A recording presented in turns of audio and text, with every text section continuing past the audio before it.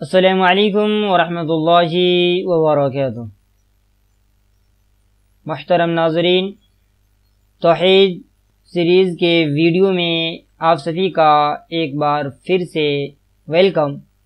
ہم نے اس سے پہلے شرک کی جو تین قسمیں ہیں یعنی شرک اکبر کی جو تین بڑی بڑی قسمیں ہیں، جو نمبر ایک پہ آتا ہے، ذات میں شرک نمبر دو پہ صفات میں شرک کے بارے میں ہم اب تک جان چکے ہیں۔ اب آج کے اس ویڈیو میں ہم جانیں گے کہ صفات کے تقاضوں میں شرک کس طریقے سے ہوتی ہے۔ تو آئیے شروع کرتے ہیں۔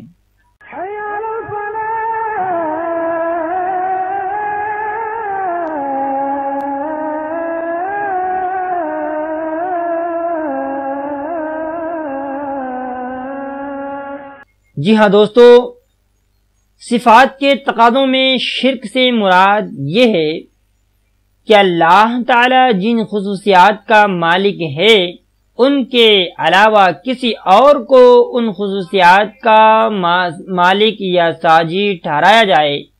اسی سے اسی سے اور اسی سے جس کے مالک اور ساجی ٹھہرایا جائے اس سے مدد طلب کی جائے اور اس کی بندگی و غلامی کی جائے، صفات کے تمام تقاضوں میں شرک علماء کرام کے نزدیک گناہ عظیم ہے۔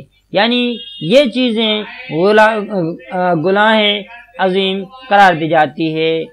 آپ کو یہ بھی معلوم ہونا چاہیے کہ صفات کے تقاضوں میں شرک خدا بند کریم بے شمار عظیم صفات کا مالک ہے۔ اور بندے پر واجب ہے کہ وہ خدا بند کریم کی صفاتی عظمتوں کے تقاضوں، عظمتوں کے تقاضے اس طرح پورے کرے کہ اس کی عبادت و بندگی میں سرو سجود رہے اور اس کی ان عظیم صفات میں کسی کو شریک نہ ٹھہرائیں۔ یہی اللہ رب العالمین کے شایان شان میں سے ہے۔ مثلا حقیقی محبت اور حقیقی اطاعت صرف اللہ تعالی ہی کا حق ہے اور اس کے اور اس کے لیے مخصوص ہے مخصوص ہے یعنی اللہ رب العالمین ہی کے لیے حقیقی محبت اور حقیقی اطاعت خاص ہے۔ اگر کوئی شخص بعین ہی، ویسے ہی اطاعت اور محبت کسی اور سے بھی کرتا ہے، تو یہ غیر اللہ کو شریک ٹھہرانا تصور کیا جائے گا۔ یعنی ٹھیک اسی طریقے سے ایک محبت کرے جس طریقے سے اللہ رب العالمین سے محبت کرنے کا تقاضا ہے، ان کے حکم کو ماننے کا تقاضا ہے، تو وہ وہ شرک مانا جائے گا اور وہ شرک کے تقاضوں میں شرک شمار کیا جائے گا۔ یعنی جس طریقے سے خواجہ نظام الدین وغیرہ کو مانا جائے، ان کے اطاعت کی جائے، ان کی بات کو مانا جائے، ٹھیک اسی طریقے سے جس طریقے سے اللہ رب العالمین نے حکم دیا ہے، تو یہ بالکل غلط ہوگا۔ اور یہ عقیدہ بالکل غلط ہے، کیونکہ صرف اللہ رب العالمین ہی ہمارا مالک، ہمارا رازق ہے، ہمیں تمام کے تمام کاموں میں اللہ رب العالمین ہی کے بات کو، ان کے رسول صلی اللہ علیہ وسلم کی بات کو ماننا ہے۔ اور یہی در حقیقت صفات کے تقاضوں میں شرک کہلاتا ہے۔ اسی طرح خداوند کریم کی اس صفت صفت کی مثالیں یعنی اس صفت کی جو مثالیں ہیں کہ اقتدار اعلیٰ صرف اللہ تعالی کے ہاتھ میں ہے، حکم دینے اور قانون بنانے کا حق اصلا وہی رکھتا ہے۔ اور اگر کسی اور کو بھی یہ حیثیت دے دی جائے، چاہے وہ ایک شخص ہو یا کئی افراد کا گروہ، تو یہ بھی شرک ہے یعنی کوئی بھی جماعت ہو، کوئی بھی لیڈر ہو، کوئی بھی علماء ہو، اگر ان کو اس طرح کی اصلا قانون بنانے کا حق دے دیا جائے، اسلام کے اندر اپنی بات کو ان کو گڑنے کا موقع دے دیا جائے، تو یہ بھی شرک ہوگا۔ اقتدار اعلی صرف خدا بند تعالی یعنی خدا بند اقدس کے ہاتھ میں ہے۔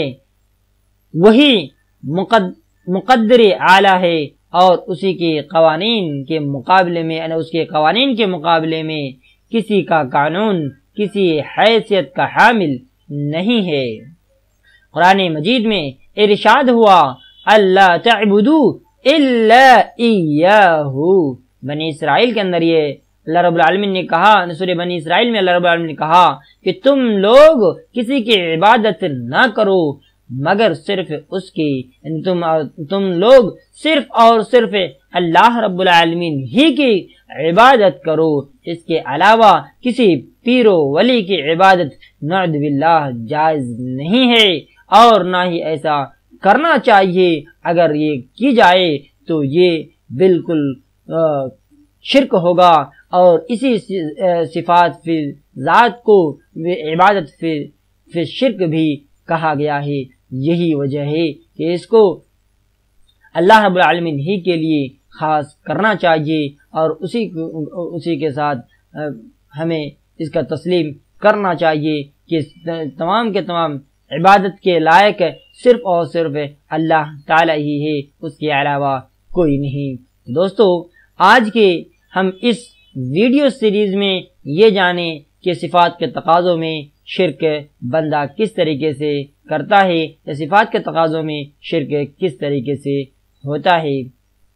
وما توفیقی اللہ باللہ۔ دوستو، اگر آپ کو یہ ویڈیو اچھا لگے تو آپ کو اپنے دوستوں تک، اپنے فرینڈ تک شیئر کریں اور لائک کریں اور سبسکرائب کے بٹن پر کلک کرنا نہ بھولیں۔ تو پھر ملتے ہیں ہم اگلے ویڈیو کے ساتھ۔ تب تک کے لیے آپ اپنا خیال رکھیے اللہ حافظ۔